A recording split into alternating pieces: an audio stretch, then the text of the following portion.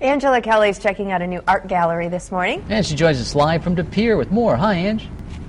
Hey guys, well, we're joining you from Christine's Gallery here in De Pere. It's on North Wisconsin Street. It opened about four months ago. And boy, does she have some amazing work in here. Uh, it's just smells wonderful. It smells like coffee. She's got beautiful artwork, hardwood floors. I mean, it, it, you feel like you're in an art gallery.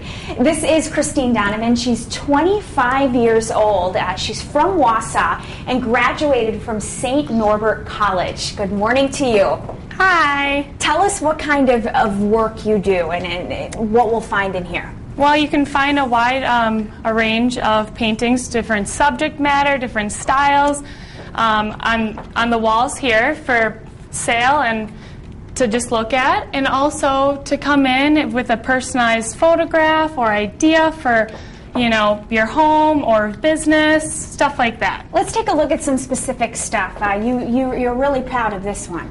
Yeah, this painting I really like. It's actually two paintings and it's I wanted an overall urban feel. So I like the colors and the texture with a little bit of charcoal on there to give it kind of more of a graffiti feel. It's really beautiful, and Thank I want you. to take a walk down here. This one's incredible. Tell us your inspiration behind this and, and where you were when you did it. This is a charcoal drawing that I did when I lived in Italy. Um, it's called The Protector. It's an angel holding a baby. I really like how this uh, drawing turned out because it just kind of gives a fluidness and just a really special moment, uh, and you can tell that the angel's really going to hold the child and be there for it. All right, uh, pop quiz, Pete and Rachel. Guess how long it took her to do that? I, you know, forever. it looks beautiful. I don't know.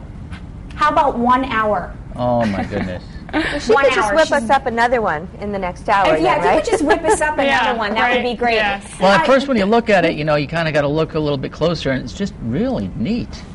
I know it's absolutely beautiful, and I was I'm going to ask her now. You know, I'm not a big art aficionado, but 25 years old. That's pretty young to have your own gallery. Yep. Um, I just, you know, really wanted to do something that I was passionate about and loved, and I want to get people to, you know, feel, be comfortable with art and really um, know that it doesn't matter if you know about art or you know who you are, what age, just to really enjoy art and it's for everybody and to not be afraid of it and just like it and know that it's there and it's available for anybody. I am so excited to spend the rest of the morning with Yay. you. We're going to watch her do some.